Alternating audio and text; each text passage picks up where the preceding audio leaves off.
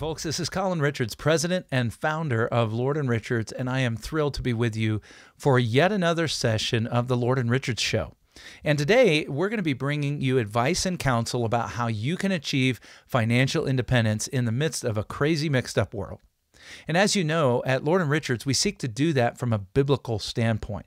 And so we come alongside of people who are really concerned about events going on in our world that are uh, volatile, out of their control, and we help you bring together a plan for financial independence so you can achieve your goals in retirement without worry. And we do that so that you can do wonderful things with the resources that God has put at your disposal. And so today we're going to be talking about yet another biblical principle found in Psalm 1. Here it is, and here's our principle be like a tree. You say, you mean make like a tree and leave? No.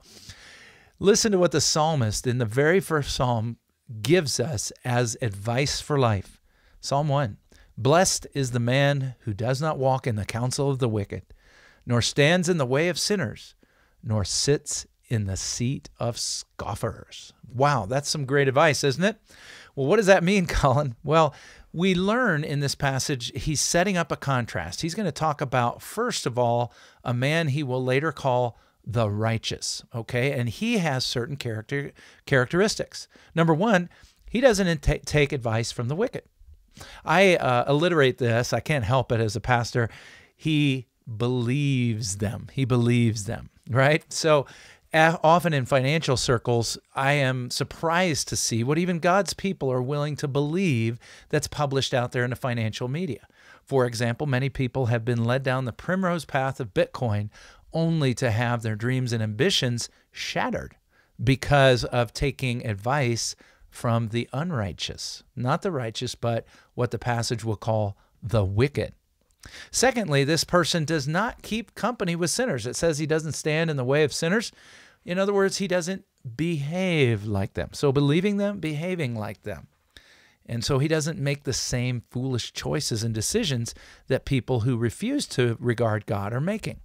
And then, thirdly, this person does not take up leadership with the wicked. It says he does not sit in the seat of the scoffers. You know what it is to scoff at something and mock it and make fun of it. Well, this kind of person avoids people who scoff at godly things, righteous things. And if I'm going to continue my alliterated outline, not just believing them, not just behaving like them, but belonging with them, right? You set up a position on a seat in the ancient culture, that was a place of leadership. And so now you belong. You really belong. We remember this, of course, with Lot in the Old Testament, who became a judge. He sat in the gate of Sodom.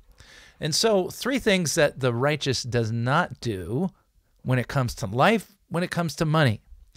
But the passage goes on to say, His delight is in the law of the Lord, and on his law he meditates day and night. So, this person, by contrast, rather than believing, behaving, and belonging like and with the wicked, he loves drinking in the word of God. She spends time day and night meditating on it. It's a transformation process, the Bible says. Your thinking is radically altered as you drink in the truth of God's word, and it changes how you invest. It changes how you think about money. And all too often, I see believing people, God's people, the righteous, unfortunately feeling that they can only take advice from those whose lives do not reflect a desire to glorify God. Well, what's the result when we avoid the wicked's advice, when we drink in God's word instead? Well, it says this person is like a tree planted by streams of water that yields its fruit in its season. Its leaf does not wither. In all that he does, he prospers. Wow, what an abundant life, right? A life that is fruitful, to have a right perspective on the world that we live in creates a person who is like a fruitful tree. Great. Drinking in the water, here in this case, the Word of God. Prosperous. Everything this person does prospers. You say, is this like my free ticket to prosperity? Well, let me just add this comment. This person is being led by God. They are following God's principles. They're steeped in the Word of God. And so they're making consistent choices that honor God and therefore do lead to the right kind of prosperity. May not be talking here about uh, abundant wealth from a financial standpoint, but the real wealth. right? And then the Lord, as a result, we learn later in the psalm, regards the way of this person. He looks upon them with favor, He enjoys them. That's the relationship God has for us. Well, what about the other person in the psalm? So we're not now talking about the righteous, but the psalmist goes on to say in Psalm 1, verse 4 the wicked are not so. They're not like this, but are like chaff that the wind drives away. You've seen pictures of, of uh, ancient cultures and modern cultures where people are raising wheat as a crop. And in a manual scenario, they take that wheat, put it on a great sheet, and toss it into the wind on a breezy day.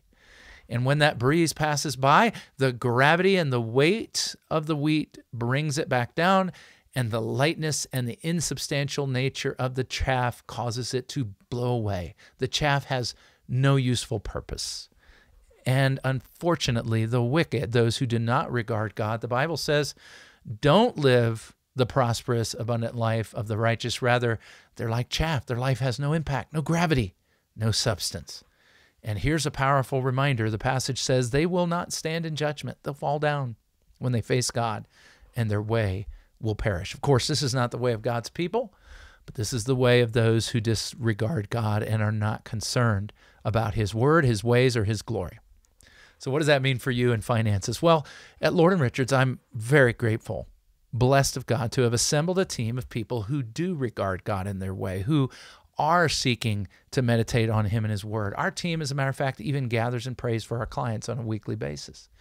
And what's the point of that? Well, because we want our advice, our counsel, our friendship with our clients, the love that we show to be patterned after the biblical counsel, wisdom, and love that we find in the Word of God. And it makes all the difference in the world because retiring with a lot of money is not the same as retiring financially independent. And so I would be delighted, along with my team, to visit, to help, to come around and surround you with biblical counsel and love so that we can help you become financially independent in a crazy, topsy turvy world. It really just begins with a simple phone call.